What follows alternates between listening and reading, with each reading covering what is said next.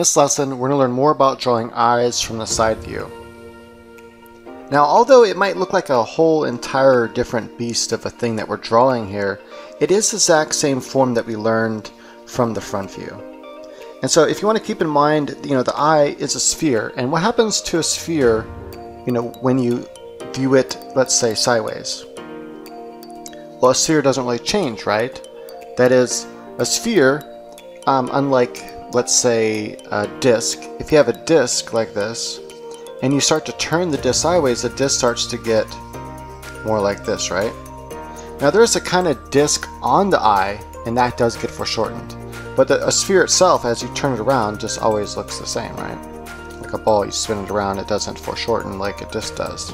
Take a, a coin, let's say this is the ground, and you set the coin on the ground. As you spin it around, it starts to get foreshortened, right? And it keeps getting foreshortened until eventually all you see is the side of the coin like that. These are things to keep in mind when thinking about the eyeball.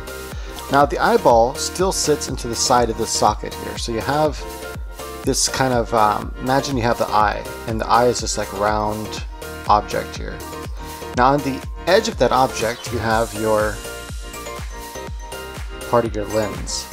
Now this lens does get foreshortened from the side view, like so. That would be the lens of the eye. Now you have flesh that covers part of this eye, and that flesh being your, your eyelash, right? And so your eyelash is going to come like this, let's say, usually covers part of the pupil. And what's important to understand here about the eyelash is it's wrapping all the way around the eye still. So when we have this front view of the eye here and you have your eyelash come up like this and it covers the eyeball, right, and you have part of the eye here being covered, what's important to understand is that this is on a sphere, it's not on a flat plane, and so it's wrapping around each side here. And as it wraps around, you're, if you turn the eye sideways, then you begin to see different angles of that, of that view.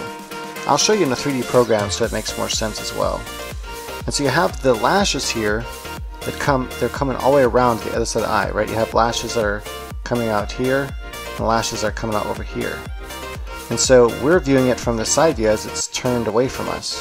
And so some of those lashes are still on the other side of the eye and they're kind of being seen from this view. And you have these lashes that come and over come over those lashes. Right? So you're getting something kind of like that. And some of these lashes will still come down like this.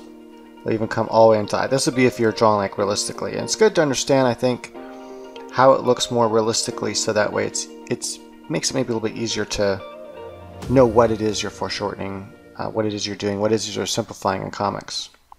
Now the eyelash here comes to this eye wrinkle. Now this is like where the eye begins to hide, your whole entire lid begins to hide up into like behind the fold of flesh there. And it kind of comes up like this and it kind of comes around and it wraps around like this. It's going around and then this eyelid is going up into that area. That's the way I like to see it, this like fold of skin. Sometimes you have a wrinkle right here. And then you have the eyebrow, which actually starts more like here.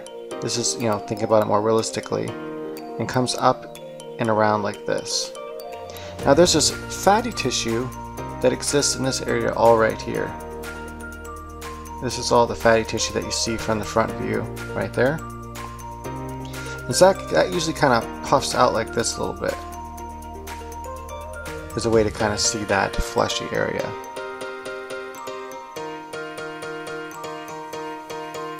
We'll start to erase some of this here. Now finally you have the bottom lid which comes here. And it usually comes right to the bottom of the eye there where you have the iris part of the eye. And once again, you have the eyelashes are wrapping all the way around the eye, and so you see some of those. Then you see some of these lashes that come in the front. So it's wrapping around the other side of the eye that we can't see, and we were seeing some of those eyelashes poking through. Now you have this bottom lid, and the bottom lid comes off right here like this. And that also, the eye continues to wrap around this lid right here. And this comes down right here. Now this is something you don't really want to emphasize um, if you want the female to look pretty. But if for whatever reason you wanted you wanted to look more different for some something like I don't know maybe maybe she's a crackhead in your comic or something like that you might you might show that. Now I know that looks very odd and weird, but that's the way to think about the eye uh, from the side view. Now, if we take that concept now like, okay, so we know that we're going to see this kind of shape here, and this lid is to wrap around like this. Or this is if the eye is open. That lid's to wrap around. Eyelid's to come up here like this. And it's to disappear into this fold of skin like that.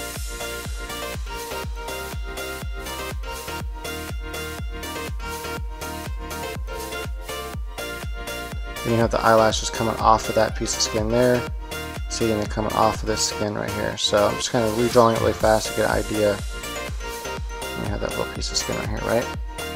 That's the basic idea of the eye, and sometimes you'll see a little bit of skin like that. So sometimes actually I'll draw that into my eye. Now when the eye closes,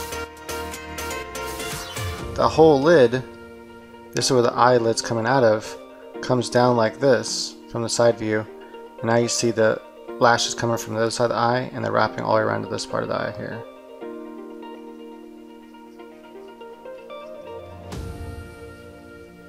Right, so that's when the eye is closed. And oftentimes when the eye closes, this line right here obviously gets stretched out because that's the line, it's kind of like tucking and folding under. But when the eye is open like this, that line sort of disappears. You might get a slight look like that right there. Um, you'll see there's a little bit of, of this, not much though. And that's with the eyes closed. Um, sometimes, you know, the lashes will look different. Let's say if they put a lot of makeup on, they might, the lashes kind of come forward and are shaped like this. So it's like the, the basic shape is right here. So if you wanted just to draw a solid shape and simplify it, it would be like that. And so maybe some lashes from over that side kind of wrapped around the form. Right, so there you have an eye that's closed. Understanding, I think, how the eye is open and closed, and sometimes you might be able to see just a little bit of that piece of skin right there, that lower lid. Again, I don't recommend really drawing the lower lid when you're drawing comics, you're trying to make things look beautiful. But understanding, you know, seeing the eye open and seeing the eye close kind of helps understand a little more about the mechanics of it.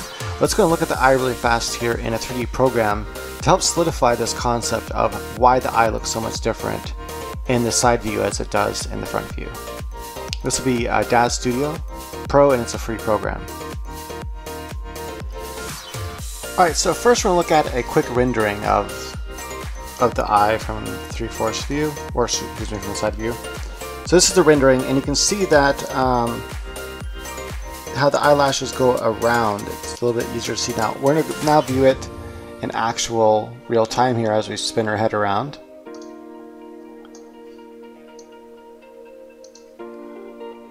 We'll go ahead and select the character model. And general we're just to rotate like this. So when she's in this front view now don't mind the fact that the lighting looks kind of weird right now um, in this you know, preview mode. That's why, I, that's why I want to show you a render mode really fast.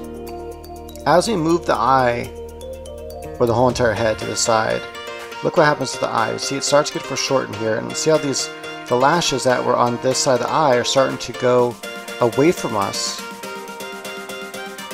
but we can still see them, but they're foreshortened. And as we get to this profile view of the eye, you can see how the lashes and stuff are there.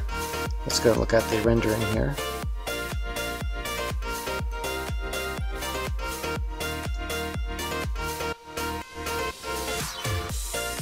And so as you can see, the eye kind of, you know, right here you have that curvature and then you have this lid, it, go, it wraps around the eye to the side. So it's going all the way around to the other side and that's where those lashes are coming from. So let me go and kind of like draw that and kind of get an idea what I'm talking about. So when you have the eye here, you have that lid, that lid is actually going all the way around to the other side over here. Imagine that going all the way around there's still lashes that are just as long coming off that lid, but you don't see them as much because they're being covered by the eye here, right? It's a type of foreshortening. And as they come forward, you can see more and more of the lashes like so. But what we end up seeing is just a couple of those lashes from the other side, and then we see these lashes coming in the front view like that. Hopefully that makes sense. Finally, just some uh, tricks here that some people use when they're drawing their their comics. So one thing I've noticed that comic artists like to do, and I like to do this sometimes too, is, is do things that's really unrealistic with the eye. So they'll, they'll actually make makeup on this side of the eye here, even though typically we wouldn't see these lashes at all, especially from this side view. And they kind of just make this, uh, you know, all kind of like really thick right here. And then sometimes they'll even, you know, make this lash right here just come out really thick like that. And you'll get an eye that kind of maybe resembles something like this. Now it looks pretty and cool, so even though it's not technically accurate, it looks neat. So th there's things you can play with. Don't always stick to realism. Think about ways you can make things look cool, because that's what comics are all about. Comics are all about, hey, how can I make my character look cool? In this case, how can I make her look cool and make her look pretty?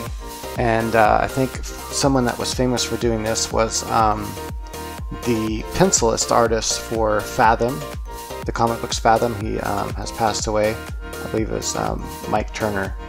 But yeah, just uh, great over all, all over um, pencilist for for for, the, for that comic, and also Aspen. So check out if you really like that kind of look. Um, at least give his, his work a look because it's really really interesting. The way he handles the female, I, I find very intriguing. It's it's really stylistic and it's his own style but he really just adds something really cool and he's really influenced my my eyebrows a lot um, but yeah okay so thank you for watching and really there's no need for a video for this exercise. The exercise will be pretty simple. Just go ahead and draw some eyes from the side view. So that's it. All right thank you for watching